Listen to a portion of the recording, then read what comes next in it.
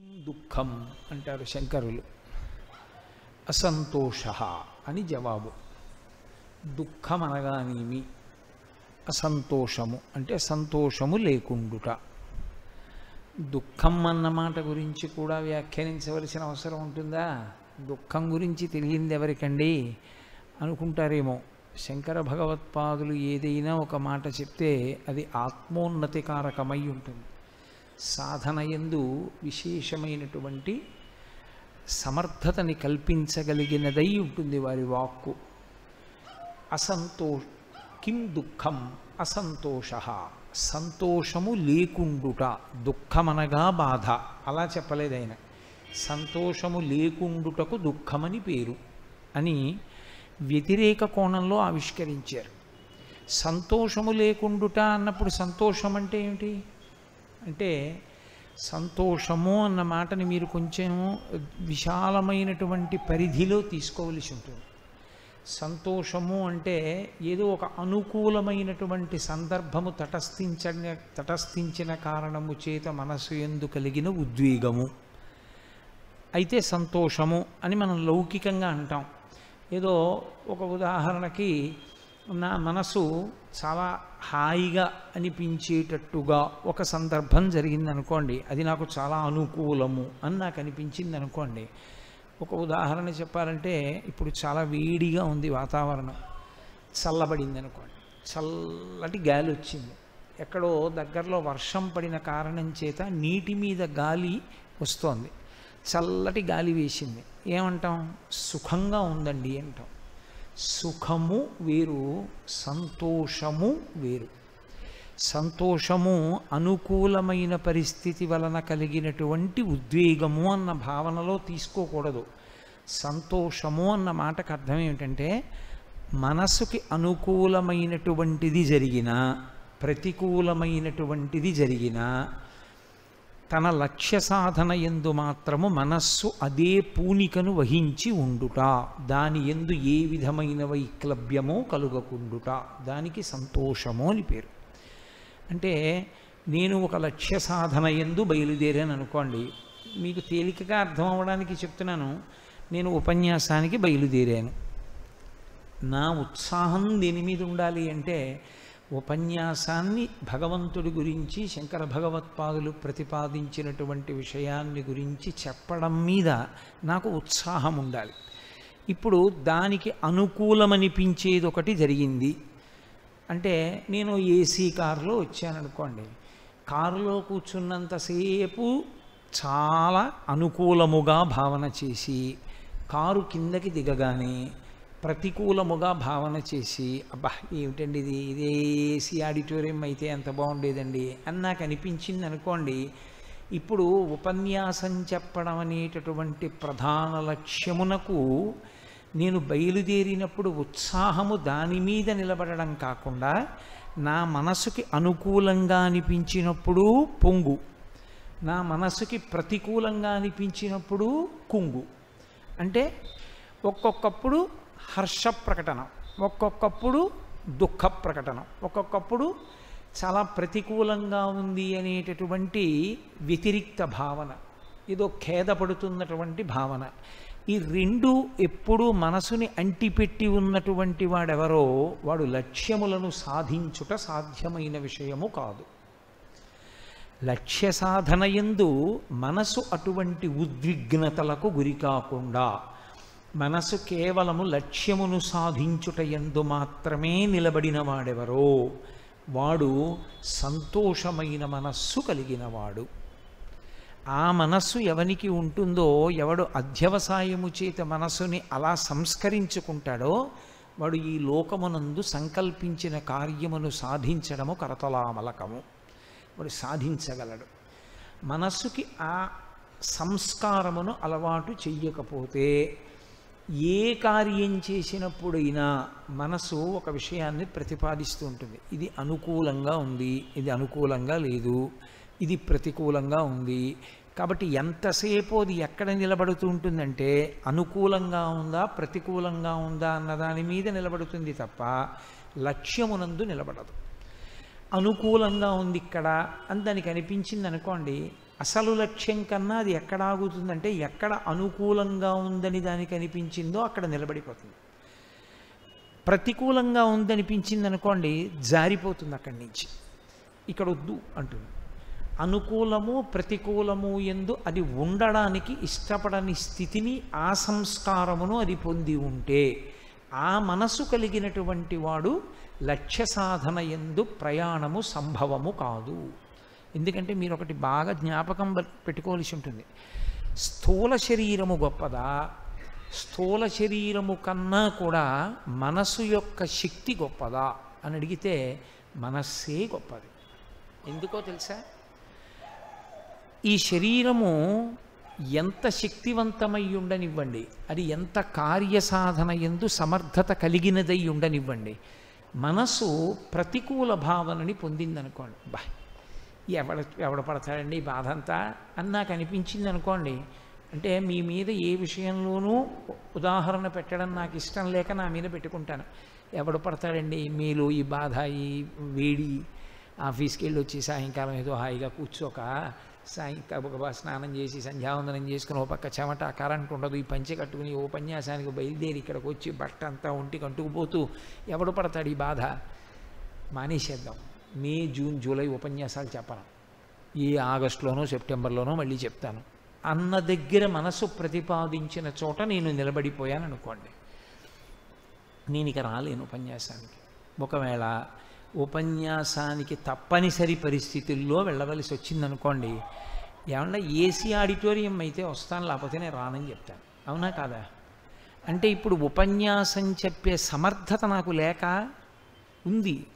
కానీ ఎందువలన నేను ఉపన్యాసానికి రావడంలో వైముఖ్యత పొందాను? అంటే నా మనసు ఇది అనుకూలము కాదన్న దగ్గర ఆగిపోయింది.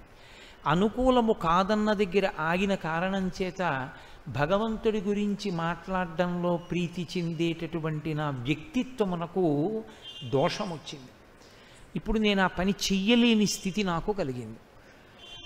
మే నెల ఎవరివ్వండి? అక్టోబర్ నవంబర్లో ఎవనివ్వండి వర్షాకాలం ఏవనివ్వండి భగవంతుడి గురించి చెప్పడమే నాకు ప్రీతిపాత్రము అనుకోండి. అప్పుడు ఈ ప్రతిబంధకములన్నీ నాకు దృష్టిలోకి రావు. ఆ కూర్చోవడం ఆ చెప్పడం అంతే. ఆ సంతోషం. ఇది మనసుకి ఎంతకాలము నిలబెట్టి ఉంచుకుంటుందో మనసుగా ఆ స్థితి ఎందు నిలబడుతుందో అంతకాలము లక్ష్యమునందు ప్రయాణించగలుగుతాడు. అది అనుకూల ప్రతికూలములకు లొంగిపోయి లక్ష్య సాధన ఎందు వాటిని గమనించకుండా వెళ్ళగలిగినటువంటి ధృతిని కోల్పోతుందో అప్పుడు నిలబడిపోతాడు. ఎక్కడో ఒక్కడ నిలబడతాడు. అది లోకమునకు ప్రతికూలమనుకున్నది ఆయనకు అనుకూలమనిపించవచ్చు ఆయనకి ప్రతికూలమనిపించినది లోకమునకు అనుకూలమనిపించవచ్చు దానితో సంబంధం కాదు. తన లక్ష్యమునందు తాను ప్రయాణించగలగాలి. నేను ఇలా మాట్లాడే కన్నా మీకు నేను ఒక ఉదాహరణ చూపిస్తే మీకు చాలా తొందరగా అర్థమయ్యే అవకాశం ఉంటుంది. నూరు యోజనముల సముద్రాన్ని దాటి ఆవలి ఒడ్డుకి వెళ్ళాలి. అసలు మొట్టమొదటి సమస్య ఎక్కడ వచ్చింది వానరులతో? దక్షిణ దిక్కుకు వెళ్ళినటువంటి వానరుల సుందరకాండ ప్రారంభం లేదా కిష్కిందకాండ చివర? ఎక్కడొచ్చింది సమస్య అంటే వాళ్ళు సముద్రాన్ని చూస్తూనే డీలా పడిపోయారు. వాళ్ళు ఏమన్నారంటే మేము అరవై యోజనాల కన్నా ఎగరలేం. మేము ప్రయత్నిస్తాం. అన్నవాళ్ళు ఎవరు లేరు. చెయ్యి చెయ్యి పట్టుకుని ఎగురుదాం. అన్నవాళ్ళు లేరు. మేము ఎగరలేం. కాబట్టి ఇప్పుడు వాళ్ళు సముద్రాన్ని చూశారు. సముద్రములో ఉన్న పాముల్ని చూశారు. సముద్రంలో ఉన్న తిమింగలాల్ని చూశారు. సముద్రములోని రాక్షసుల్ని చూశారు. నిరాధారమైన ఆకాశమును చూశారు. సముద్ర కెరటములు దాని లోతు చూశారు. దాన్ని దాటగలగడం అనేటటువంటిది తన సమర్థతలోనిది కాదని ఎగరగలిగిన కొందరున్నా ఎగరకుండా కూర్చున్నారు. హనుమ ఒక్కరు ఆయనకి శాప విమోచనం కాగానే మహేంద్రగిరి పర్వత శిఖరము మీద నిలబడ్డారు. నిలబడితే మహర్షి అన్నారు సవేగవాన్వేగ సమాహితాత్మ హరిప్రవీర పరవీరహంత మనస్సమాధాయ మహానుభావో జగామలంకాం మనసా మనస్వి అన్నారు. మరి ఈయన వీళ్ళందరూ వానరులు హనుమ కూడా వానరుడే. కానీ హనుమ ఇవన్నీ చూడలేదు. సముద్రము లోతు నిరాధారమైన ఆకాశము ఇవి కాదు. ఆయన రామకార్యం మీద వెళ్ళాలి. సీతాదర్శనం కావాలి అంతే. దాని చేత ఆయన మనసంతా ఎంత సంతోషంతో నిలబడిపోయిందంటే జగామలంకాం మనసా మనస్వి మనస్సుతో ఆయన లంకను చేరిపోయారు. అంటే అసలు మొట్టమొదట ఏ కార్యక్రమాన్నైనా మీరు సంకల్పం చెయ్యగానే దాన్ని మనసుతో మీరు పూర్తి చేస్తే శరీరముతో పూర్తి చేస్తారు. మీరు మనసుతో హడిలిపోతే శరీరముతో చెయ్యడంలో వైక్లభ్యం వచ్చేస్తుంది. మనసు యొక్క ప్రభావము అంత తీవ్రముగా ఉంటుంది. అసలు ఆలోచన ఎందే? అయ్య బాబోయ్! ఏమో మొదలెడుతున్నాం కానీ బాబోయ్ ఇవన్నీ అయ్యే పనులండి అన్నాడు అనుకోండి ఎవడో ఒకడు తుమ్మితే చాలు. అయిపోయిందండి ఇంకా చేయలేడు. హడిలిపోతాడు. అసలు ముందు కా అయ్య బాబోయ్ ఇది ఎలా జరుగుతుంది? ఎలా చేస్తాం? అన్నవాడు చేయలేడు. ఇది ఇలా చేయవచ్చు అని ప్రణాళికని రూపకల్పన చేసి ఇది చేయగలిగినదే అని మనసార నమ్మిన వాడెవరో వాడు చేయగలడు. ఒక్కసారి ఎక్కడైనా వైఫల్యం ఉంటుందేమో కానీ వాడు చెయ్యగలడు. ముందు మనస్సు యొక్క లక్ష్యం అది. మనసు జమముతో కూడినదై ఉండాలి. అది సంతోషముగా ఉండుట అన్న మాటకు అర్థం అది. అసలు నేను ఇది సాధించగలను కృత నిశ్చయంతో ముందు నిలబడడం కాదు. ఏ నిశ్చయాన్ని మీరు చేసుకున్నారో ఆ నిశ్చయం మీకు అనుకూల ప్రతికూలమైనవి అని బయట వాళ్ళకు అనిపించేవి ఎదురొచ్చినా మీకు అలా అనిపించకుండా మీరు లక్ష్యము వైపుకి దూసుకుని వెళ్ళేటప్పుడు మీ మనస్సు అలాగే నిలబడగలిగినటువంటి స్థితిని పొందితే అది సంతోషము. అప్పుడు అలా నిలబడగలడు. అని బయలుదేరారు. హనుమ నేను దాటుతాను నూరు యోజనముల సముద్రాన్నని. ఏ అడ్డం లేకుండా హాయిగా ఆయనేం దాటి వెళ్ళిపోలేదు. మొట్టమొదట ఆయనకు వచ్చినటువంటి ప్రతిబంధకము అనుకూలమైనది వచ్చింది మీరు జాగ్రత్తగా ఆలోచిస్తే హనుమ కోణంలోంచి చూసినా మన కోణంలోంచి చూసినా అది అనుకూలమైనటువంటి ప్రతిబంధకం. ఎందుకని? సముద్రుడు మైనాక పర్వతాన్ని పైకి లెమ్మన్నాడు తన గర్భంలోంచి. మహానుభావుడు హనుమ వెడుతున్నారయా? ఆయనకి విశ్రాంతి కల్పించు. కాస్త ఓ పండు తింటారు కాస్త తేనె తాగుతారు కాసేపు కూర్చుంటారు పెడతారు లే అన్నాడు. లేచింది ఇప్పుడు మైనాక పర్వతం. అది బంగారు శిఖరములతో ఉంది. ఆయన చూశారు. చూసి దర్శయామాస శృంగాణి సాగరైడ నియోజిత శాతకుంభమయీర్ శృంగై కిన్నర మహోరగై అన్నారు మహర్షి. పాములతోటి బంగారు శిఖరములతో చెట్లతో తేనెపట్లతో పళ్ళతో పైకి లేచే శిఖరాలు. మనస్సు యొక్క ఆనుకూల్యత అంటే ఏమిటి? ఇన్ని యోజనములు ఎగిరి వచ్చాను ఇదేదో తేనెపట్లు అవి ఉన్నాయి ఒక్కసారి ఆగి కాసేపు ఇదేదో పుచ్చుకుని పెడదాం అనాలి. ఆయన ఏమన్నారంటే మధ్యేలోణతో యస్య విఘ్నోజమితి నిశ్చయ సముద్రంలోంచి బంగారు శిఖరం ఎందుకు వచ్చింది? ఇది నా కార్యానికి విఘ్నం. అంటే ఏది మనం ఆయనకి అనుకూలం అనుకున్నామో దాన్ని ఆయన అనుకూలము అని భావన చెయ్యలేదు నా లక్ష్య సాధనకు ఇది అడ్డు. నేను వెళ్ళడమే వెళ్ళాలంతే. దాని మీదే సంతోషం. బురసాపాతయామాస జీమూతమివ మారుత. వక్షస్థలంతో కొడితే చూర్ణములై పడిపోయాయి. మైనాకుడే లేచాడు. లేచి అంతరిక్షస్థిత శ్రీమాన్ ఇదం వచనమబ్రవీత్ అంతరిక్షంలో నిలబడి అడిగాడు మైనాకుడు. నిపత్యమమ శృంగేషు విశ్రమస్వ యథాసుఖం ఒక్కసారి నా శిఖరముల మీద దిగి కాస్త తేనె పుచ్చుకుని వెళ్ళండి విశ్రాంతి తీసుకోండి అన్నాడు. ఆయన ఏం కోపగించలేదు. ఒక్కసారి ఇలా ముట్టుకున్నారు చేత్తో. ముట్టుకుని నాయన ప్రతిజ్ఞాచమయా దత్తానస్థాతవ్యమిహాంతరే నేను ప్రతిజ్ఞ చేశాను రామబాణం వెళ్ళినట్టు పెడతానని. కాబట్టి నేను ఆగకూడదు. ముట్టుకుని వెళ్ళిపోయారు. అనుకూలముగా అనిపించిన చోట ఆగలేదు. అనుకూలముగా అనిపించిన చోట ముఖము వివర్ణము కాలేదు.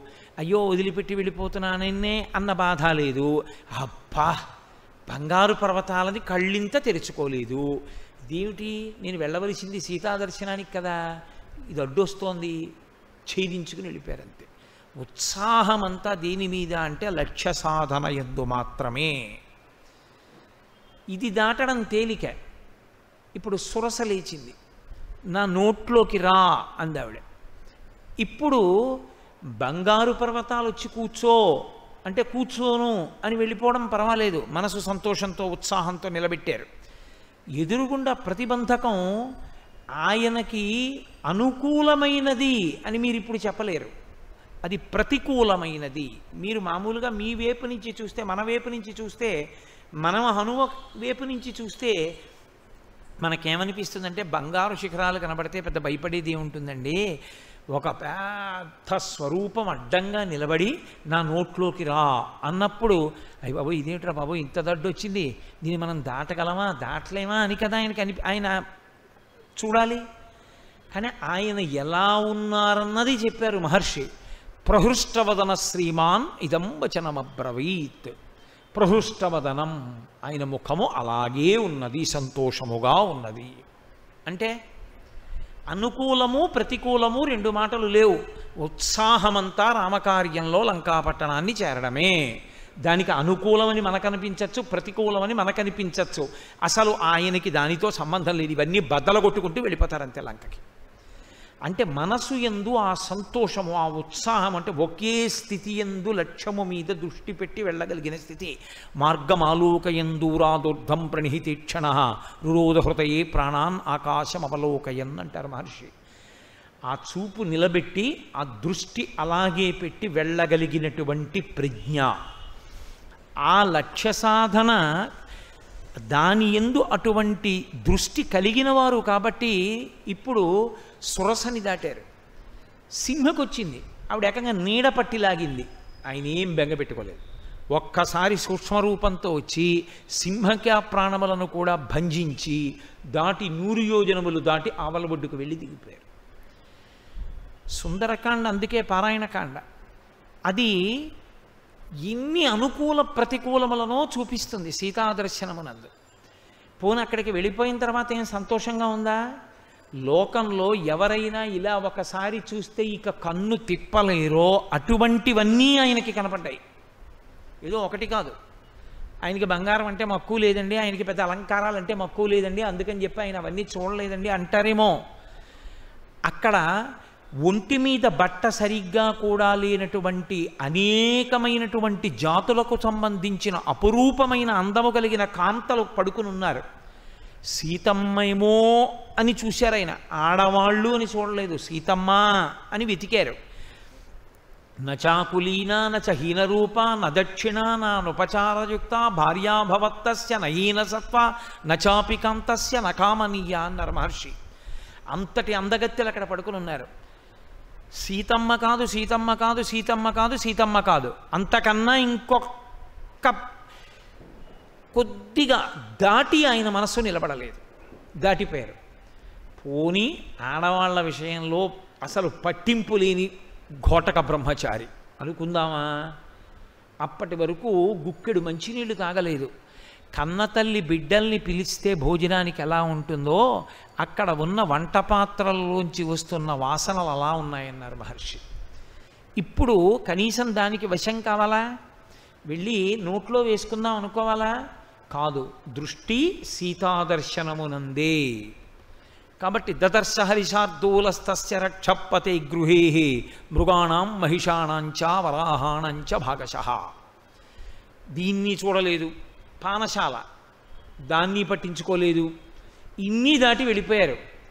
కానీ ఎక్కడా అసలు మనసు వైక్లభ్యమును పొందకపోతే ఇక సుందరకాండలా? ఇంతటి మహానుభావుడు ఒక చోట అన్నారు చతురంగుళ మాత్రోపి నావకాశస్య విద్యతే రావణాంతపురే తస్మిన్ ఎంకపిర్న జగాయ సహా. ఇక్కడి వరకు లక్ష్యమునందు మాత్రమే దృష్టి పెట్టి అన్నిటినీ త్రోసిరాదని వెతికారు. ఒకసారి అన్నారు నాలుగు అంగుళాలు వెతక వదలకుండా లంకంతా వెతికా. సీతమ్మ దర్శనం అవల. కాబట్టి నేను చచ్చిపోతానన్నారు. అలా అనుకునే ముందు అనుకున్నారు అందుకు సుందరకాండకు అంత శక్తి వచ్చింది. మనసుదేనండి ఏదైనా మనసు నిలబడగలిగితే